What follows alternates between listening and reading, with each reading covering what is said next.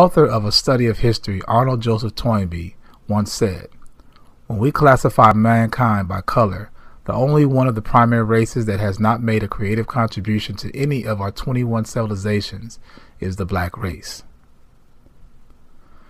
To one in search of self, this could deter you from thinking our people did anything in the history of woman and man.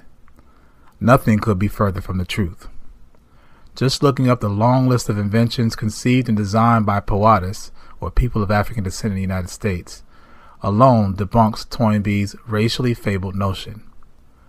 33rd United States President Harry Truman once said, There's nothing new in the world except the history you do not know. To me, this implies a need to discover, through the study of our history what exists in the world.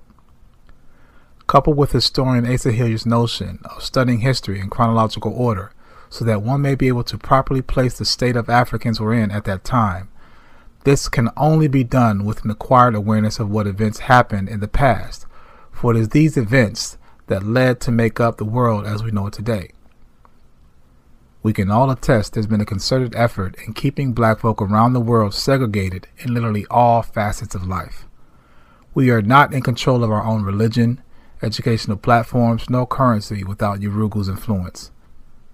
And to many, there's not even a thought as to why this is so, or even came to be.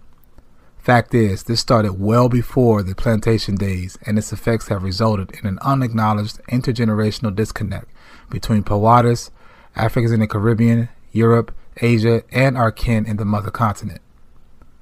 Once I became aware of this, it naturally led me to the question of how did we get here? I mean, if we are descendants of kings and queens from Africa, as folks say, why are we no longer?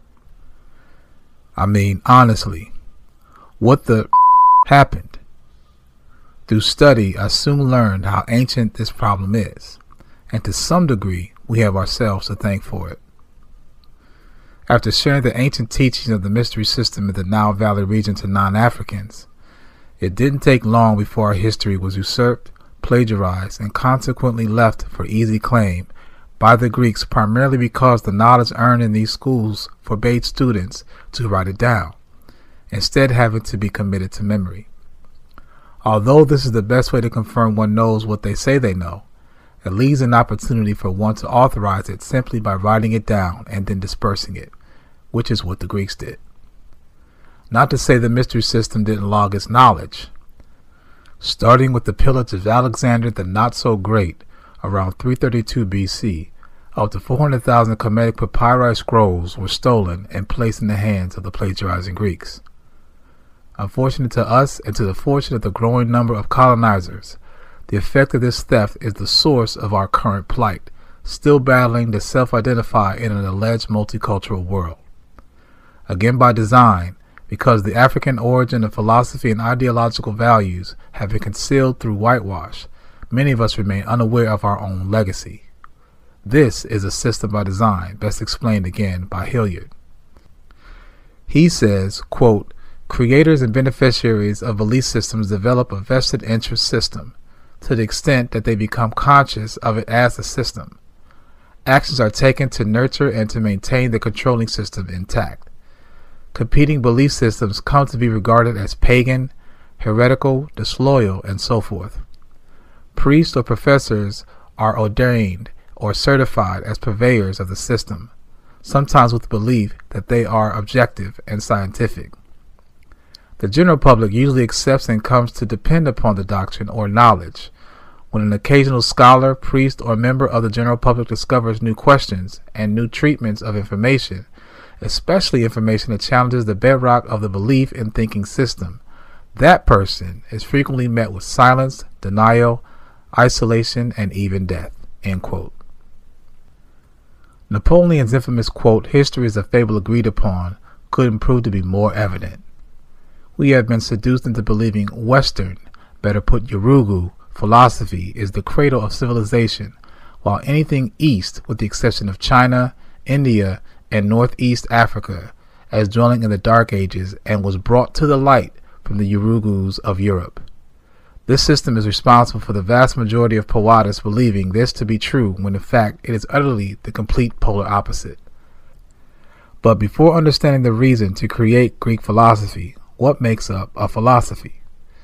Defined as the study of the fundamental nature of knowledge, reality, and existence, we find in the mystery system of Kemet, it was considered to be a system of salvation regarding the human body as a holding house of the soul that can be liberated physically through studying the disciplines of the arts and sciences, enabling the advancement from mortal to that of God, or summum bonum, a Kemetic term also known as the greatest good.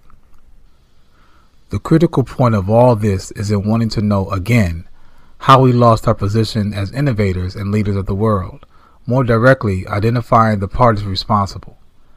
In order to understand this book, Who is the Boule, is essential to be aware were it not for the book written by George Granville Monah, G.M. James, we would most likely still be trying to figure out what and when it happened, to the point of actually believing the lie of Egypt not being in Africa.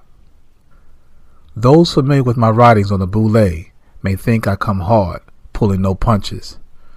True, but at the source of it all, I echo the basic sentiment of James on why this topic is so prevalent. Quote, it must be borne in mind that the first lesson in the humanities is to make a people aware of their contribution to civilization, and the second lesson is to teach them about other civilizations. By this dissemination of the truth about the civilization of individual peoples, a better understanding among them and a proper appraisal of each other should follow.